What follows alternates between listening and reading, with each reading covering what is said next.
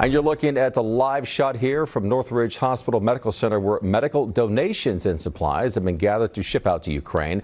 The hospital partnered with Project Cure to provide $10,000 worth of supplies in an effort to help victims in Ukraine affected by the ongoing war here. The nearly 20 pallets include surgical instruments, tourniquets, surgical packs, and other essentials.